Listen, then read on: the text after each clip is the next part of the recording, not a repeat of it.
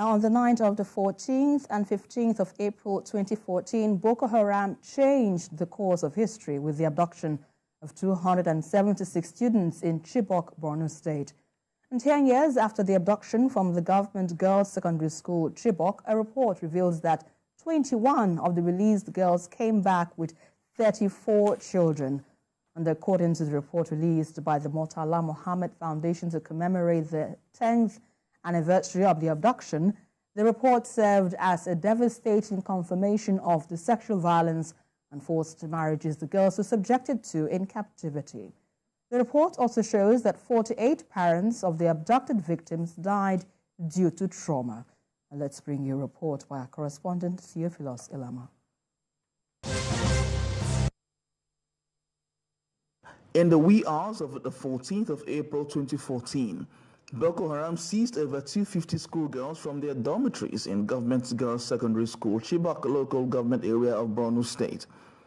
While 128 regained freedom in batches over nine years, the whereabouts of 91 others remain unknown. The abduction sparked global outrage and took the headlines. It also birthed an international movement, Bring Back Our Girls. Now, 10 years later, 91 girls are yet to regain freedom as civil society organizations are raising their voices to remind the government of its promise. Over the last 10 years, about 1.5 billion naira has been allocated to the Chibok girls. We've asked the Federal Ministry of Women Affairs twice with a Freedom of Information request, and they've not responded either time. So the point is, if you're really engaged and concerned about the girls, if anybody is asking about the welfare of the girls, you should be willing um, to provide information. It's not easy to stay with, without my daughters for good three years. Remember, 48 of us are late. And most of them that are late, due to trauma, heartbreaking, high blood pressure, you know, not all of us can eat. All. Mothers, fathers, and friends of the Chibok community all gathered here to make a case for the release of the girls. One of the Chibok girls who was held in captivity while narrating her ordeal sent a message of hope to others still held. Okay, my message to them, to those that are still in captivity is now, they should just be strong. I know they are not finding it easy. Life is so hard for them. They are going through a lot, but they should just hold on. Nigeria needs a missing persons register. We've only been able to advocate for the Chibok girls, talk about 91, 112, because we had their names. At least 38 school abductions have happened. There's no documentation of that anywhere. Even this one, the government has never produced a list. Like many others who have escaped harrowing conditions in Boko Haram hideouts, these girls turned women now face a different type of challenge, the struggle to restart their lives when so much has changed. It is hoped that government will re-strategize and see the rescue of those still in the terrorist den. Theophilus Ilama, TVC News, Lagos.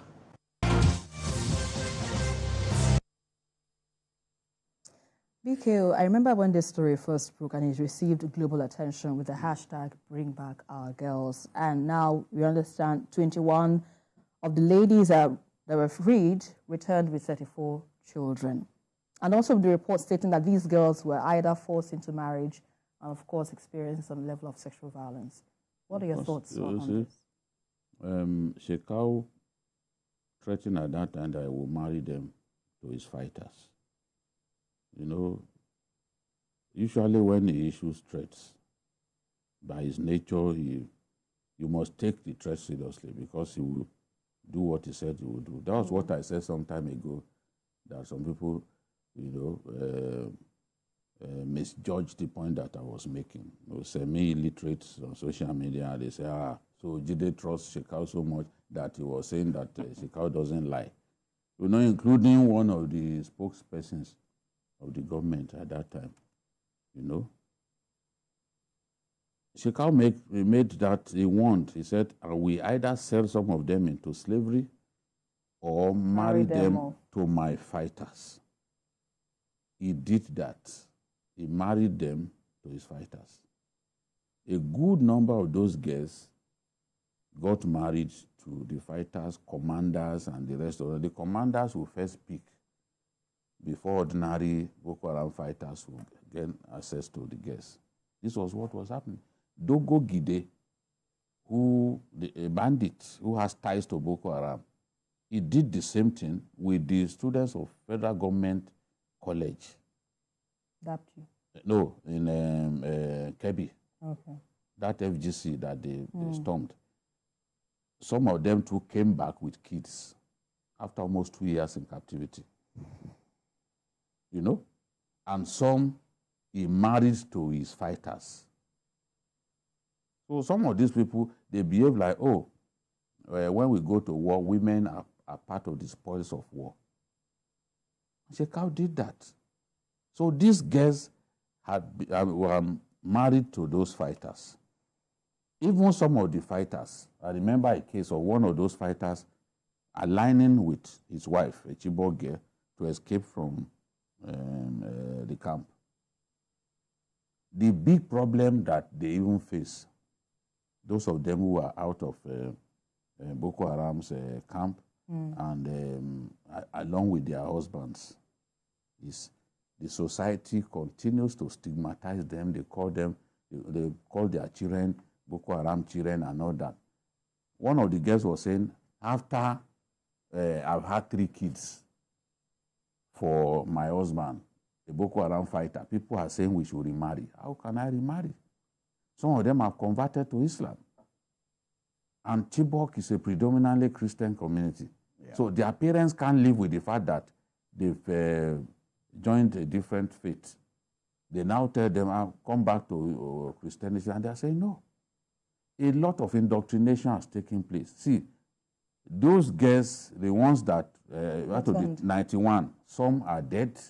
The first set of Chibok girls that were released in May 2017 actually confessed that some of their colleagues were beaten by snakes and they died Yeah. in captivity.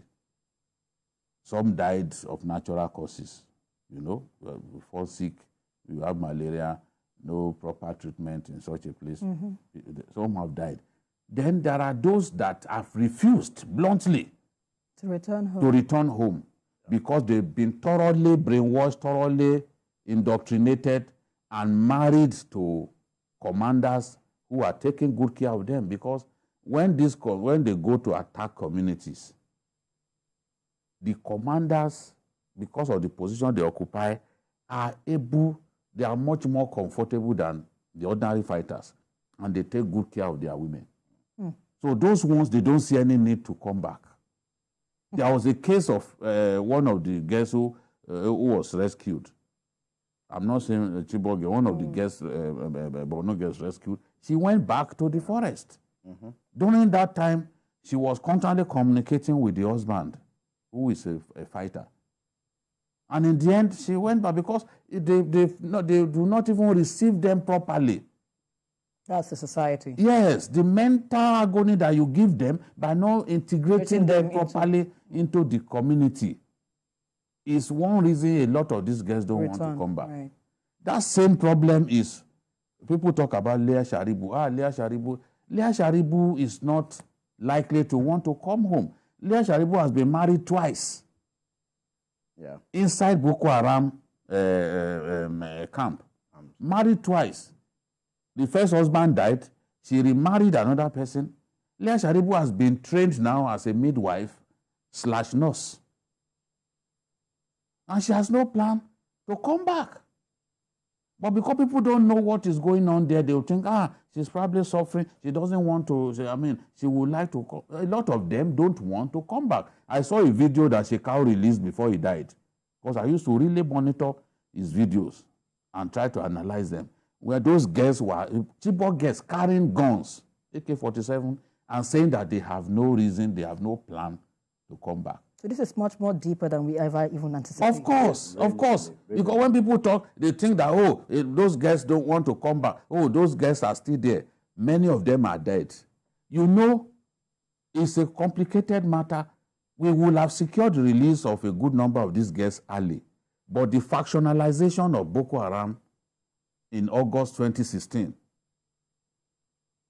complicated matters. The first time the Nigerian um, uh, government tried to secure the release of these girls, they had made up, they had uh, agreed a location somewhere not far away from Dikwa was identified, an open field. The moment they were trying to do the exchange, fighters from the rival camp came and said, if you release any of these girls, we will go and kill all the Chibok girls in our, in our own camp. Because once the, the, the, the, the group broke into factions, the Alba Anawi slash Mama Nur faction. Mm. Mama Nur was a politician, a father figure. Albanawi was, is dead now, was one of the sons of the man who started the Boko Haram movement. Mm. So ISIS then chose him.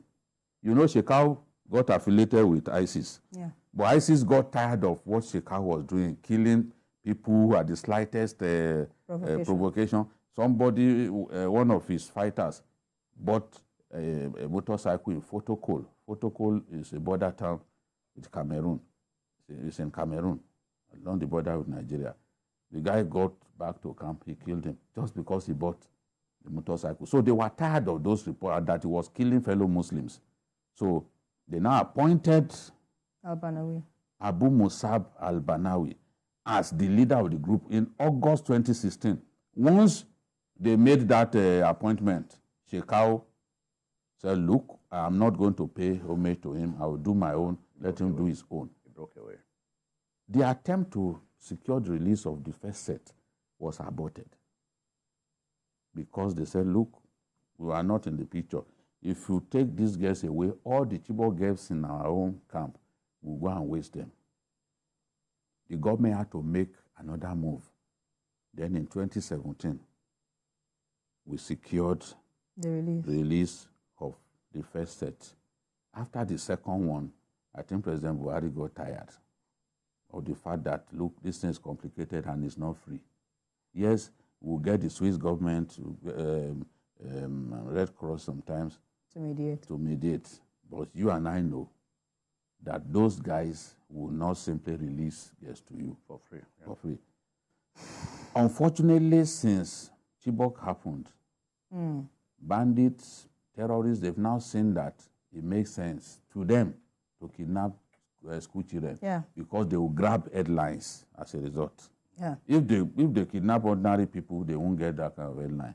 So we have to do our best to stop this thing from consistently happening. Find Right. a way to stop it as a tribute to those girls. Yeah, and in And then, if the Borno state, after Chibok, Mm-hmm. no more kidnapping happen in Borno because the government used its head. People in government used their heads.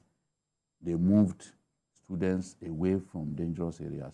Everybody come to the state capital. That is what some governors are not doing now. Areas that are not safe, you are still keeping students there, endangering their lives.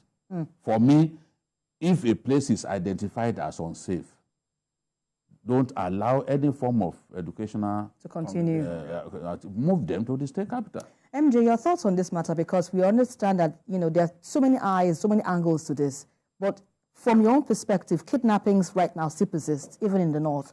What do you think the government needs to do to address this underlying issues that you know give issues like this? We have the underlying issues we understand are widespread poverty, lack of economic opportunities, and so many other factors like this. How do you think the government can address these issues so that we do not have repeat, a repeat of what we've, we're talking about at this moment? Yeah, um, I mean, we've, we've highlighted some of these uh, things on the uh, program uh, before now. And uh, you see, the moment you allow uh, a kidnap to happen and it gets prolonged, then it becomes complicated. So, look at the last one that happened in Kaduna, how it was dealt with decisively. I think in about a week or two, uh, the, the girls were back before they were fully integrated into the system. And we need to take more decisive actions to deal with those who are responsible for this kidnap, those uh, the terrorists and the and, and the kidnappers.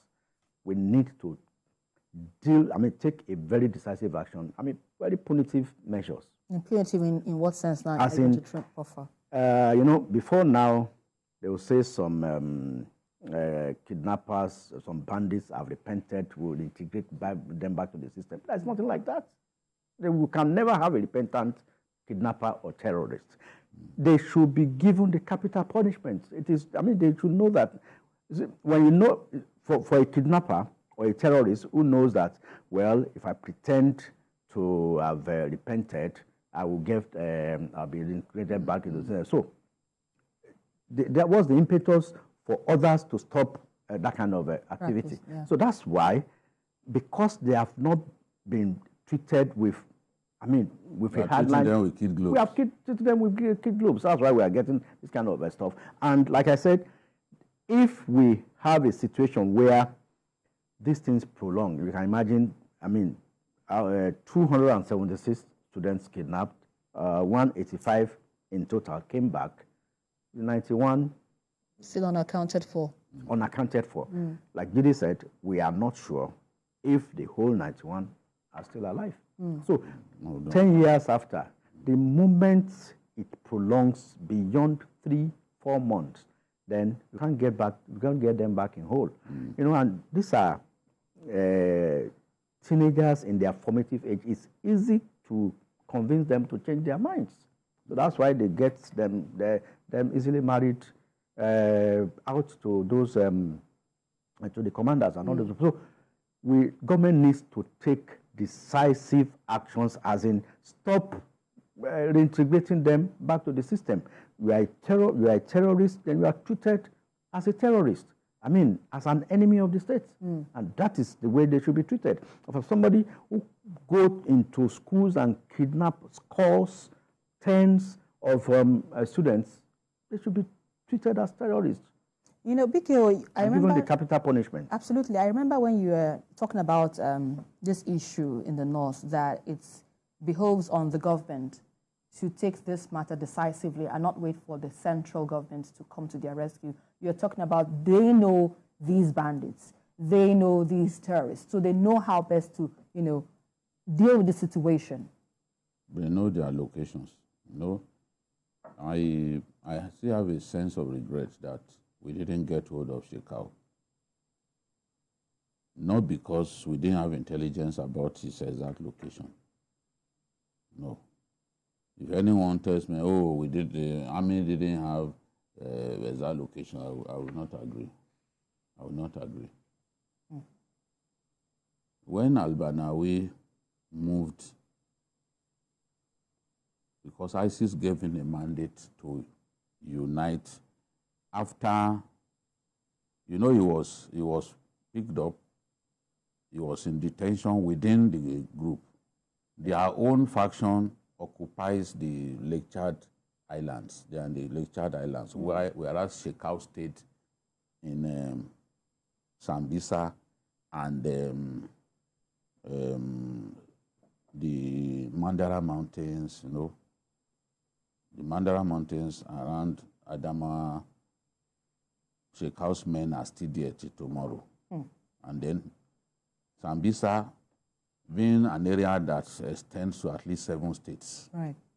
it's difficult to police Sambisa. Sambisa is so huge. And they're constantly moving.